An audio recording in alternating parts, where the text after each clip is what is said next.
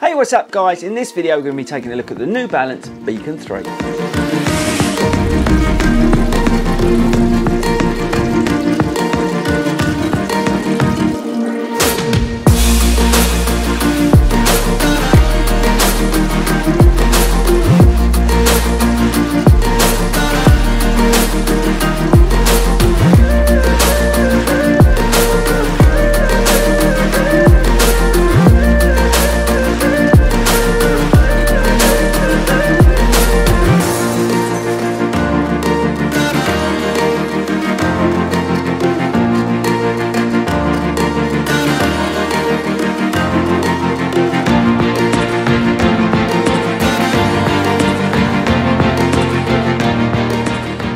What's up everyone and welcome back to Fordy Runs.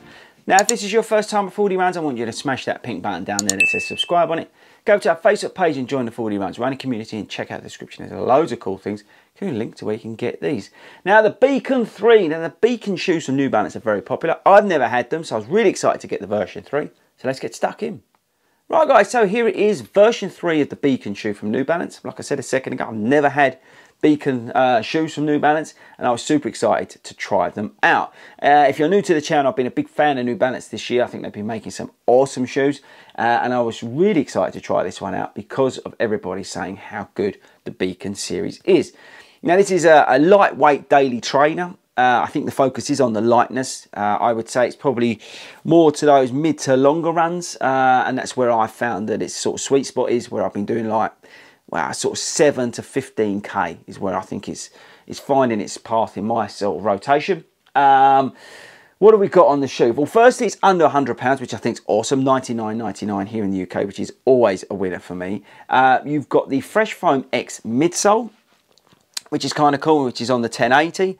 Uh, you've got the um, ground contact fresh foam midsole, which delivers a cushioned lightweight ride, and the outsole is strategically placed rubber outsole pods for durability where needed. I'll show you those in a second.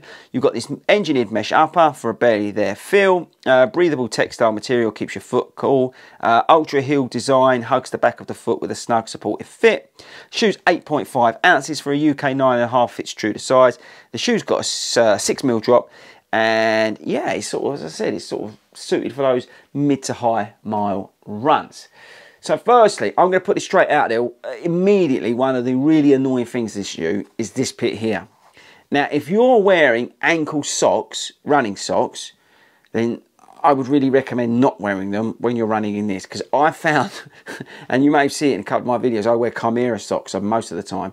Uh, and the low ones, I found that it was really rubbing on my ankle here. It's actually quite coarse. There's a lump in there, which is kind of nice. Um, but I just found this area was rubbing on my ankle. It was absolutely fine when I went to a, a normal uh, sock uh, just over my ankle, and it, that was fine. But just as a warning, it was really, really annoying. And even the more I've ran in them, I thought it would sort of soften up a bit, but it's not. So just a bit of a pre-warning, do not run these with low, um, low socks. Anyway, with that out of the way. So, 1080 uh, version 10 is a great shoe. I kind of liked it, but for me, it, it, it, wasn't as good or as responsive I felt as some of the fuel cell shoes that um, New Balance do. I'm a big fan of the fuel cell midsole. I prefer it over the Fresh Foam X. It's a personal choice. I know there's a lot of people who absolutely love the 1080 shoe, but for me, it just didn't do enough. And I've got to be honest with you, I kind of feel a little bit about the Beacon 3 like that. Uh, because it's got this massive slab of Fresh Foam X on it, it's not really doing anything too exciting. I much prefer the Propel version 2 as an example, which has got the Fresh Foam, um, the, sorry, the Fuel Cell midsole in it. That's just a personal preference. Um, if you like the 1080, then you're going to like this shoe. It's a very lightweight daily trainer, um, which is great. And like all New Balances, it fits true to size. You know what you're going to get. You know you can pick up the pace in it and it will do everything you want. But it's just it's just a personal preference. I really do prefer the Fuel Cell uh, midsole um, from uh, New Balance. The outsole, so what they've done is they've got these sort of um, pods here, which are the rubberized areas. The rest of it is Fresh Foam X on the outsole. Uh, and by the way, I've noticed um, I've been getting little stones in there. I've cleaned them out today, but I've been getting little stones in there, which is a little bit annoying. But anyway, but you've got these uh, five strategically placed bits of rubber, which uh, have been giving me enough traction. I, I wear um, wear them. I wore them in the rain today, and they were absolutely fine. Um, but yeah, so you do get these uh, little bits of rubber and the rest of it is this foam X on the outsole. The uh, overall feel of the upper is great. You've got a little bits of structure here with the New Balance signs and you can see it here in the design which they've done is very cool um, and that does add some structure around here. I told you already about the heel area.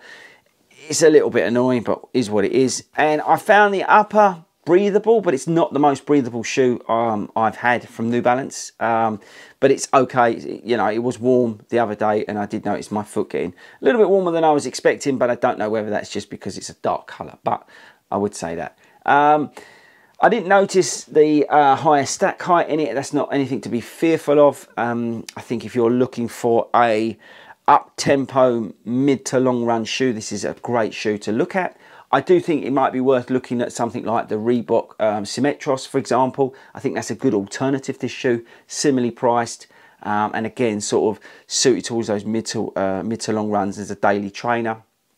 I just found that shoe a little bit more um, suited to me. It was just a little bit more springy than this. Um, and I think that's where I'll leave it really.